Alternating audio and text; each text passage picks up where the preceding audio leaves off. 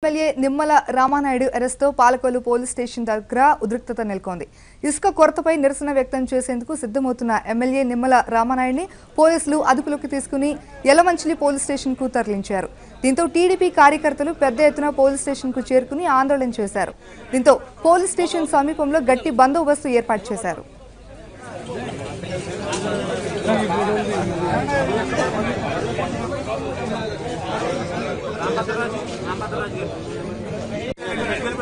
Okay okay ఉంచండి ఉంచండి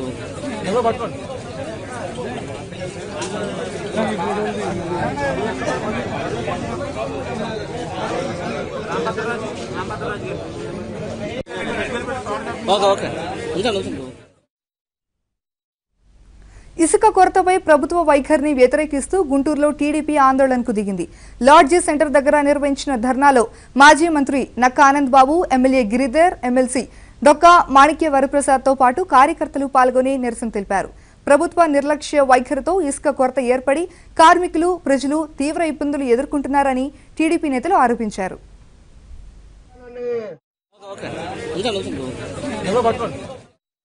వర్తిల్లాలి నారా చంద్రబాబు గారి నాయకత్వం భవన నిర్మాణ కార్మికులు వెంటనే.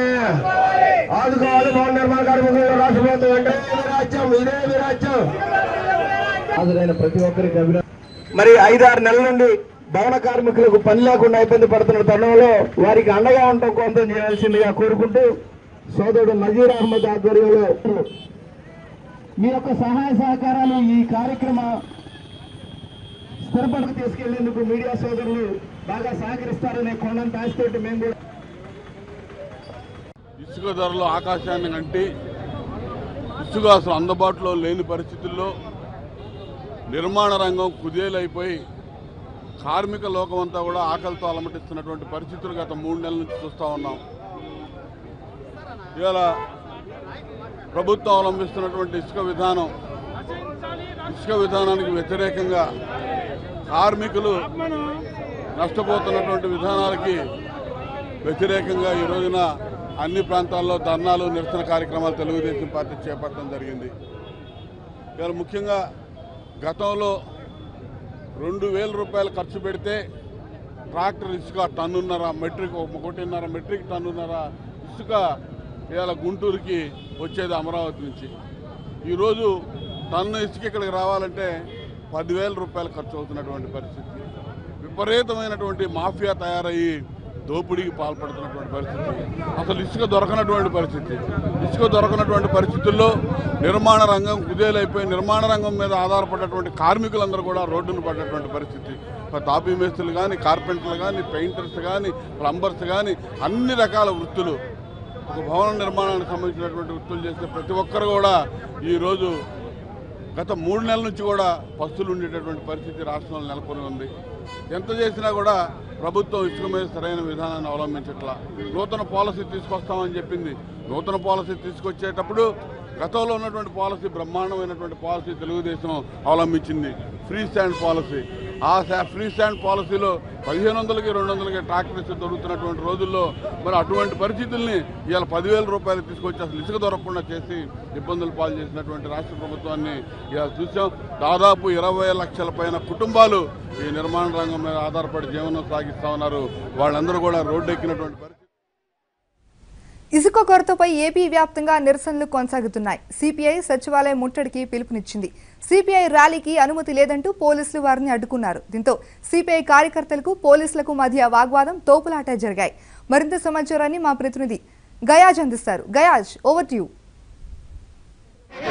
ఇసుక క్వారీలను తెరవాలి. అదేవిధంగా రాష్ట్ర బంధం ప్రజలకు సరిపడి ఇసుకను ఇవ్వాలంటూ ఈరోజు సిపిఐ పార్టీ ఆధ్వర్యంలో సచివాలయాన్ని ముట్టడి కార్యక్రమం చేపట్టడం జరిగింది. ఈ మేరకు గాంధీనగర్లోని దాసరి భవన్ నుంచి సిపిఐ రామకృష్ణ అదేవిధంగా దోనపూడి శంకర్ ముట్టడి కార్యక్రమం బయలుదేరారు. అయితే గాంధీనగర్ లెనిన్ సెంటర్ సమీపంలోనే వీళ్ళని పోలీసులు అరెస్ట్ చేయడం జరిగింది. ప్రధానంగా చూసుకుంటే సిపిఐ రాష్ట్ర కార్యదర్శి రామకృష్ణతో పాటు నగర కార్యదర్శి దోనిపూడి శంకర్ అదే అదేవిధంగా లారీ అసోసియేషన్ నేతలు ఏఐటిసి నేతలు అదే విద్యార్థి సంఘ నేతలు కూడా ఈ ముట్టడి కార్యక్రమంలో పాల్గొన్నారు. మొత్తం మీద ఈరోజు ఉదయం పదకొండు గంటలకు దాసరి భవన్ నుంచి సిపిఐ ర్యాలీగా వెళ్ళి ముట్టడి కార్యక్రమం చేపట్టేందుకు ప్రయత్నం చేశారు. అయితే పోలీసులు ఉదయం తొమ్మిది గంటల నుంచే దాసరి భవన్ వద్దకు చేరుకొని ముట్టడించడం జరిగింది. అయితే ముట్టడి కార్యక్రమానికి అదేవిధంగా నగరంలో ర్యాలీలకు ఎలాంటి అనుమతులు లేవు. దీనివల్ల మేము మీకు వెళ్ళడానికి వీలు పడదంటూ కూడా పోలీసులు వాళ్ళందరినీ అడ్డుకోవడం జరిగింది. అయితే ప్రస్తుతం సిపిఐ రామకృష్ణ శివ రామకృష్ణతో పాటు పలువురిని పోలీసులు ఆ, అరెస్టు చేయడం జరిగింది. వాళ్ళు మొత్తము ఇప్పటికే ఒక లారీలో పోలీసులు ఎక్కించారు. అయితే మనము వీడియో వీడియో ద్వారా వీడియో జర్నలిస్ట్ మనకు చూపిస్తున్నాం. పోలీసులు సిపిఐ పార్టీ కార్యకర్తలు నేతలను ఈ విధంగా పోలీస్ జీపు ఎక్కిస్తున్నారు.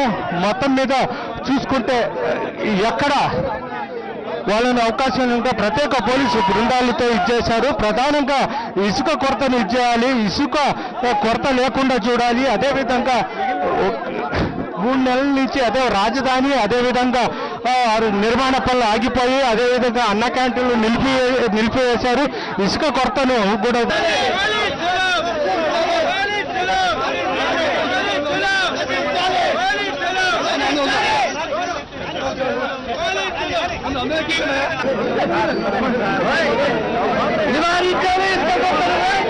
Hey!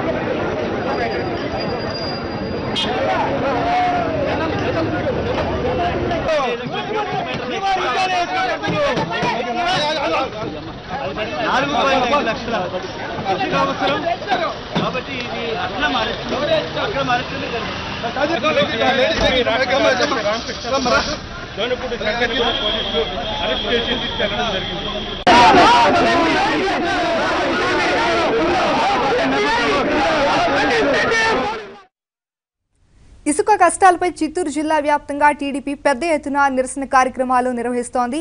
జిల్లా కేంద్రమైన చిత్తూరులో గాంధీ విగ్రహం దగ్గర ఎమ్మెల్సీ దొరబాబు సహా టీడీపీ నాయకులు ఆందోళనకు దిగారు. దీనిపై మరింత సమాచారాన్ని మా కరెస్పాండెంట్ మనోహర్ రెడ్డి అందిస్తారు. మనోహర్ రెడ్డి.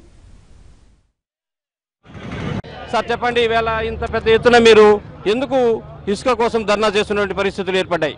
తెలుగుదేశం ప్రభుత్వంలో గత ప్రభుత్వ ఐదు సంవత్సరాల్లో కూడా ఇసుక విధానం ఉచితంగా ఇవ్వాలా ప్రకృతిగా దేవుడు దేవుడు ఇచ్చిన వరం అది ఇసుక నీళ్ళు గాలి ఇవన్నీ కూడా ప్రభుత్వం ఇచ్చింది.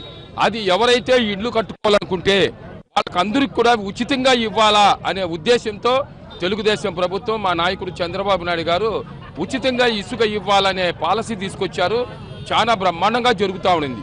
దాన్ని ఈరోజు వీళ్ళు వైఎస్ఆర్ నాయకులు వాళ్ళ పొట్టలు నింపుకోవాలనే ఉద్దేశంతో దానికి ఇసుక రీచుల పేరు పెట్టి వాళ్ళ వాళ్ళే టెండర్లు వేసుకొని వాళ్ళే ట్రాన్స్పోర్టేషన్ చేసుకొని ఈరోజు ట్రాన్స్పోర్టేషన్లో ఏడు వందల నుంచి వెయ్యి రూపాయలు చిత్తూరుకి ఇసుక రావాలంటే ఈరోజు వాళ్ళు చేస్తూ ఉండే కార్యక్రమాలు చూస్తే ఏడు వేల రూపాయలు ఒక ట్రాక్టర్కి ఈరోజు ఇసుక తీసుకొచ్చే పరిస్థితి వచ్చింది. ఈరోజు సుమారు ఇరవై లక్షల మంది ఈ ఇసుక వస్తే భవన కార్మికులు కానివ్వండి అదేవిధంగా ఇక్కడ ఉండే సిమెంట్ అంగళ్ళల్లో పనిచేసే వాళ్ళు కానీ స్టీల్ అంగళ్ళల్లో పనిచేసే వాళ్ళు కానీ అందరూ కూడా ఈ రోజు రోడ్డున పడ్డారు. ఇరవై లక్షల మంది రాష్ట్రం మొత్తం మీద ఇసుక పైన ఆధారపడి ఇసుక లేకపోతే భవనం కట్టేదానికి లేదు. ఇరవై లక్షల మంది రోడ్డున పడ్డారు. వాళ్ళ తరపున కూడా ఇది ప్రజాస్వామ్యయుతంగా మేము నిరసన తెలియజేయాలనే ఉద్దేశంతో ఈరోజు చేస్తున్నాం. మేము ఏదైతే కోరుకునేది మా డిమాండ్ ఒకటే. ఉచితంగా ఇసుక ఇవ్వాల్సిన బాధ్యత ప్రభుత్వం పైన ఉంది ఈరోజు వీళ్ళు ఆలోచిస్తాడని చూస్తే రేపు నీళ్ళు కూడా నీళ్ళు కూడా లేదా గాలి పిలిస్తే కూడా మీరు ట్యాక్స్ కట్టాలనే విధానంతో వాళ్ళు పోతా ఉన్నారు. అదేవిధంగా ఇక్కడ నియోజకవర్గ ఇన్ఛార్జి ఏఎస్ మనోహర్ గారు ఉన్నారు. మరి సార్ చెప్పండి ఈవేళ ఎందుకు మీరు ఈ ధర్నా చేయాల్సినటువంటి పరిస్థితి ఏర్పడుతుంది? మా నాయకుడు చంద్రబాబు నాయుడు గారు మాజీ ముఖ్యమంత్రి గారు తెలుగుదేశం పార్టీ అధ్యక్షులు గారు నిర్ణయం మేరకు రాష్ట్ర వ్యాప్తంగా అన్ని నియోజకవర్గాల్లో కూడా ఇసుక మీద పోరాటం జ- జరుగుతూ ఉంది. ఈ ధర్నా చేస్తున్నాం. ముఖ్యంగా ప్రజ ప్రతి ఒక్కరికి తెలుసు గత వంద రోజులుగా కార్మికులందరికీ కూడా కడుపు కొట్టినటువంటి ప్రభుత్వం వైఎస్ఆర్ కాంగ్రెస్ ప్రభుత్వం. ఇసుక లేకుండా. ఇంతకుముందు చంద్రబాబు నాయుడు గారు ముఖ్యమంత్రి అవుతూనే ఆలోచించారు. వచ్చే మూడు వందల నాలుగు వందల కోట్ల కంటే కూడా ప్రజలకి ఫ్రీగా అందిస్తే బాగుంటుందనే ఉద్దేశంతో ఆనాడు తీసుకున్న నిర్ణయం ఇది. ఆ నిర్ణయాన్ని ఎగగొట్టి జగన్మోహన్ రెడ్డి గారు వస్తూనే ఇసుక విధానం కోసం ఒక నెల రోజులు నిలిపేశారు. నెల రోజుల తర్వాత ఓపెన్ చేస్తారని చూస్తే ఆ మంత్రి గారు ఇంత- ఇంతవరకు నిర్ణయం తీసుకునే పరిస్థితిలో లేరు. మంత్రి గారు నిర్ణయం తీసుకున్నా ముఖ్యమంత్రి గారు నిర్ణయం తీసుకున్న దాంట్లో లా- జాప్యం జరుగుతూ ఉంది. దీనికి నిరసనగానే చాలా చోట్ల చూస్తున్నాం వాట్సాప్లో కానీ యూట్యూబ్లో కూడా కార్మికుల యొక్క బాధ. ఒక రోజు పని చేయకపోతే ఒక మహిళ ఏ విధంగా ఇబ్బంది పడుతుందో మనం చూసాం ఆ రోజుకి కూలీ కావాలి. కూలీ లేకపోతే వాళ్ళ కుటుంబం అంతా ఆకలితో ఉండే పరిస్థితి. దాన్ని కూడా ఈరోజు ముఖ్యమంత్రి గారు నేను ఎంతో ప్రేమగా చూస్తాను నేను బీద ప్రజలే నాకు సర్వస్వం అని చెప్పి ముఖ్యమంత్రి ఈనాడు ఇలాంటి కార్యక్రమాలు చేయడం తగునా అని చెప్తున్నా. అలాగే చంద్రబాబు నాయుడు గారు పెట్టిన అన్నా క్యాంటీన్లు అయితే ఐదు రూపాయలకే భోజనం పెట్టారు. రోజుకు పదహైదు రూపాయలు ఉంటే ఒక పూట గడిచిపోయేంటి బీద ప్రజానికానికి ఆయన వస్తూనే భవన కార్మికులు అయితేనేమి దాంట్లో భవన కార్మికులు తినేవాళ్ళు కూలీలు తినేవాళ్ళు అన్ని రకాల కార్మికులు కూడా పొట్ట నింపకుండా ప్ర- ప్రభుత్వం ఈరోజు జగన్మోహన్ రెడ్డి గారి ప్రభుత్వం చెప్తూ ఇలాంటి కార్యక్రమాలు మేము ఇంకా అనుకున్నాం. ఆరు మాసాలు టైం ఇద్దాం అనుకున్నాం. కానీ అంతలోగానే రెండు మూడు మాసాల్లోనే ప్రజలకు వ్యతిరేకమైన ప్రభుత్వం ఇది జగన్మోహన్ రెడ్డి గారి ప్రభుత్వం.